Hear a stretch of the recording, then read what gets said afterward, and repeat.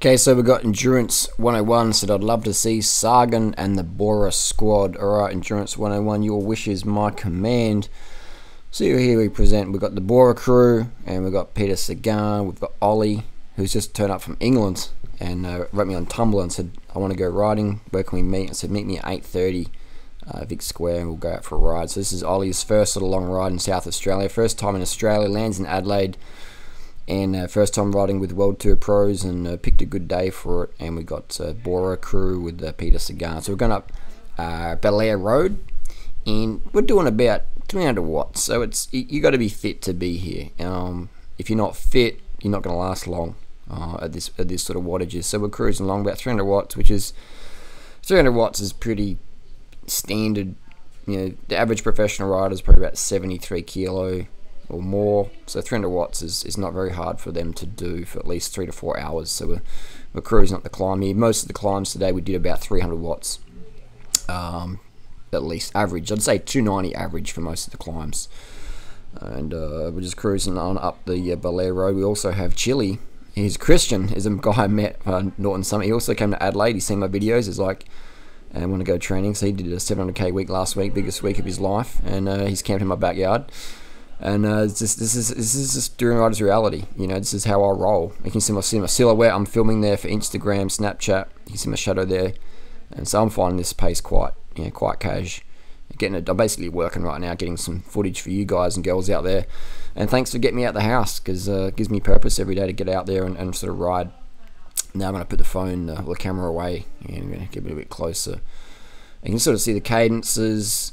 Uh, obviously, the crew are finding this pretty easy. So Peter Sagan, all the pro riders, you know, not just Peter, but uh, all riders, they match up their, their mission match their cadence. Sometimes they maybe they got a saddle sore, so they you know click it in a harder gear and climb out the saddle and grind a bit, or maybe their back's a bit tight. So they sort of you know spend so many hours per year on the bike, and you sort of you know you don't always spin, you don't always grind, but you'll definitely see when it comes to racing, you always see guys like Peter Sagan spinning that high cadence, that high efficiency, uh, the high power. Mean, if you want to produce power, you have to spin. If you're not spinning, you are going to get dropped so quick. You're going to get dropped so quick. You know, if you're not spinning, you're toast unless you're riding with like you know total you know, beginners like, you know, F graders. And that's nothing wrong with being an F grader. There's nothing wrong with that at all. You know, everyone's got to start somewhere. But if you're wanting to get faster and leaner and reduce your fatigue metabolites day to day, then you, and reduce injury and have more success on Strava or riding to work or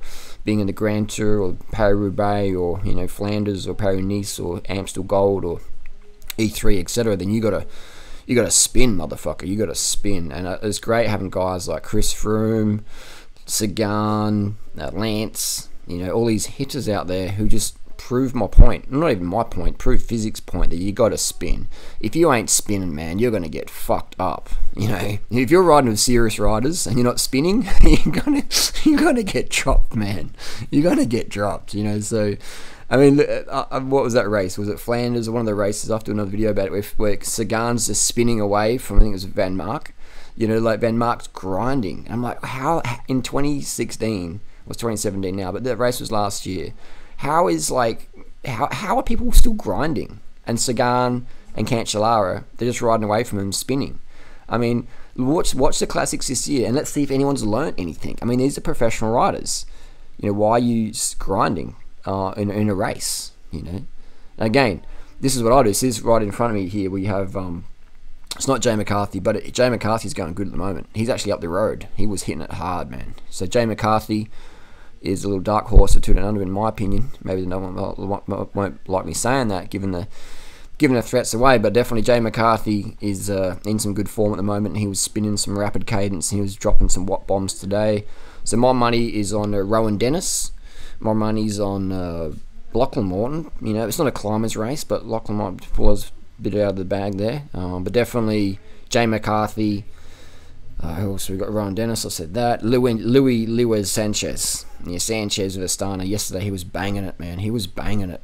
He was banging it hard. So uh, so basically the team car on, uh, and I'm basically a guest. So I'm trying to get out of the way for everything, and then basically they're just having a chat talking about you know how we're going to get drop Durianrider before the top of the climb. Durianrider needs to go home, and edit some videos. Why can't he just leave now? So basically, just they're looking up, they're forming race tactics, how to drop Durianrider on the Willunga Hill, and basically saying, you know, does this guy have any friends and what's going on? All he seems to do is just ride around at world tour teams this time of year, like get a job Durianrider sort of thing. So they're having a bit of a discussion here, um, and if this part of the video, I'm not sure, but Peter was sort of like bouncing on the car, just sort of bouncing off the car, and it just shows the skill that these riders have. You know, like, and I'd say Pete is of the uh, exceptional technical skill.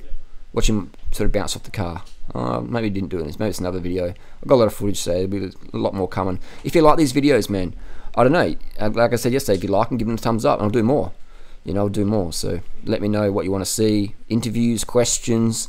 These guys are all approachable, man. Like, um, you know, they see my YouTube videos, they see my stuff, they know who I am, the bamboo bike. You know, there's only one freak show in Adelaide like that. So if you got any questions, want me to ask them, etc., you know, let me know. So you can see Pete sort of out the saddle now, heavier gear, just sort of giving that saddle area a bit of a break. And I'm like, I've got to go around, go get some more footage up here, guys. And uh, so we're just, we're tapping about 200 watts. 300 watts there.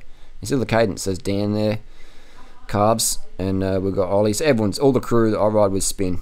They all spin as a GoPro there. Just let you know, the Garmin's still working.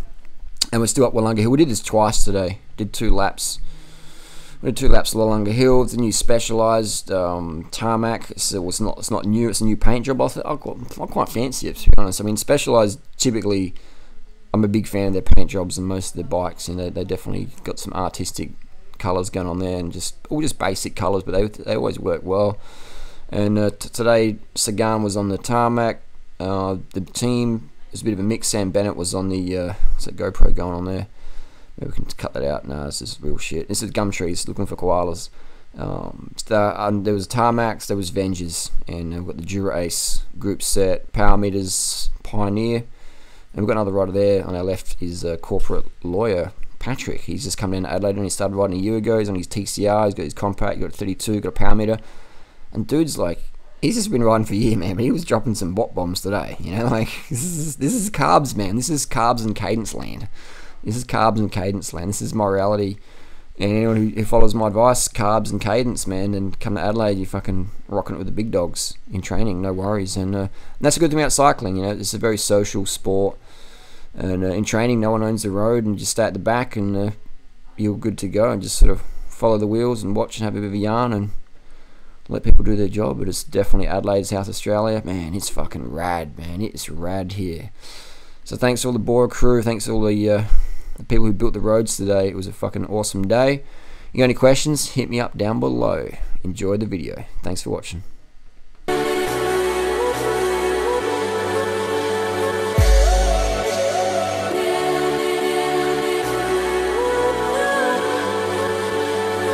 second, every minute, man, I swear that she can get it. A bad bitch, put your hands up high, hands up high, hands up high. Tell them down right